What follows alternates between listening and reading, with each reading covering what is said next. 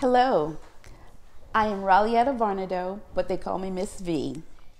I am the Healthy Living Director for Quad E, and I want to today engage, educate, empower, and eradicate. Acknowledgements for the education videos were made possible by financial support from Grantham University. I will be discussing a healthy plate. Today, I want to engage in conversation, educate you by discussing healthy plate, empower you with the tools on how to build a healthy plate so that you can start the journey to eradicate. Eating healthy is a serious matter, a matter that we shouldn't take lightly. As humans, we've been eating forever, and we still don't have it right. Knowledge. It is not enough to know more. You have to act differently to do more. What does that mean? Well, I want you to see food differently.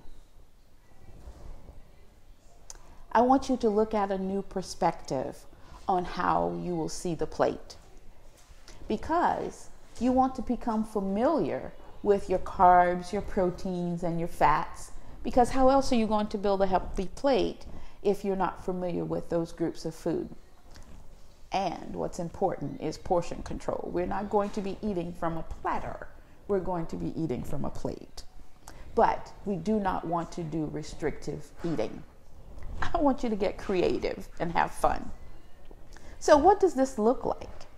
Well, that's a healthy plate from Harvard University. Notice the vegetables are the largest area of that plate, and there is fruit. So, you want to make half your plate fruits and vegetables.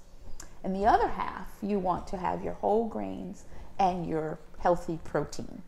But don't forget about your uh, dairy products on the outside of the plate and your oils. Wow, a real life healthy plate breakfast. You know, breakfast is the most important meal of the day. And the reason for that is so that that spurs your metabolism and gets you started. Look at those meals. Oh my goodness. Lunch. Let's do lunch. But when we're doing lunch, we're not looking at you eating a salad for lunch if it contains lettuce, tomatoes, and cheese. That's just a topping for a sandwich. We want you to have a meal that is acceptable for lunch. And when you're looking at the My Plate, you want to be sure that you check all the boxes and that you have your fruit, your vegetables, your um, carbs, your healthy protein. That makes a healthy lunch. I want to now see what my dinner will look like. Well, let me tell you about dinner. People get confused. What are we having for dinner? I don't know.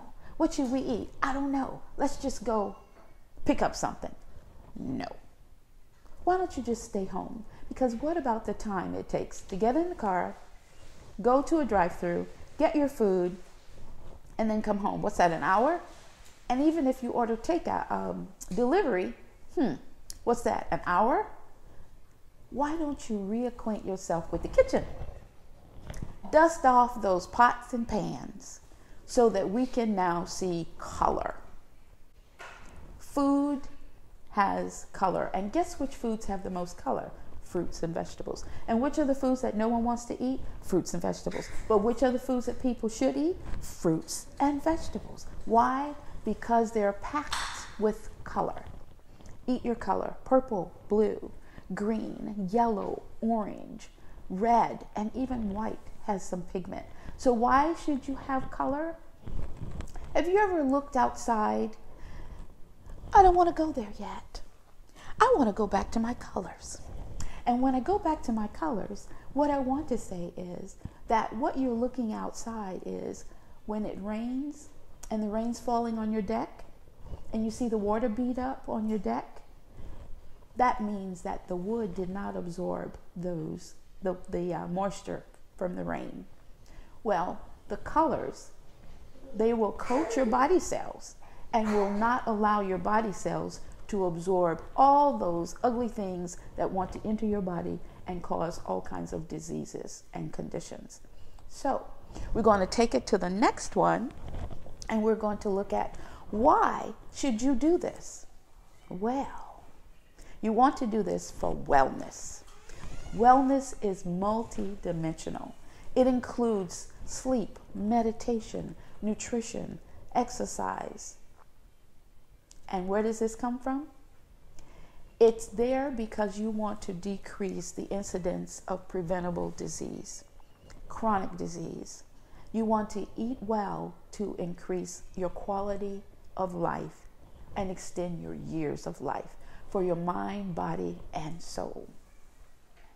So, what happens when you start? This is what's going to happen. Wow, you're going to feel good. You're going to improve your heart. You're going to boost your mind, your energy. And look, in the new millennium, we're talking about gut health. That is so important. And now they are coming out with books on how to improve your memory. Go back to those blueberries with all that color and weight loss. Oh my goodness, during this pandemic, yes, that's so important. Promoting healthy habits for the next generation. How do you start? By setting the example. For your family, don't just let them get away with it. Mom, what are we having? Oh, we're going to have chicken nuggets. Oh, that's not a good start. You want to get realistic goals going. And you want to look at what you have in your uh, pantry and work from there. You want to shop the perimeter of the grocery store so that you can choose all the healthy fruits and vegetables. And please keep a food diary. And you know now there are apps for that. There's app for your grocery list. You can even program your refrigerator to look and see what you need for your next grocery visit. So there is not really an excuse for not doing meal planning. And that also leads to meal prep. And when you meal prep, this takes a lot of time out of getting those meals put together. Check out this healthy challenge. Go ahead.